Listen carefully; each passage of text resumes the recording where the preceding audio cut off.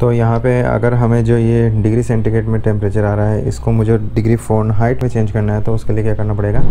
एक छोटा सा पिन या टूल चाहिएगा क्योंकि जो ये वॉच है इसके पीछे की तरह यहाँ स्टैंड को ऊपर करने के बाद यहाँ पे एक, एक ये जो है ब्लैक कलर का बटन दिया हुआ है तो इसको यहाँ से एक बार प्रेस करना पड़ेगा।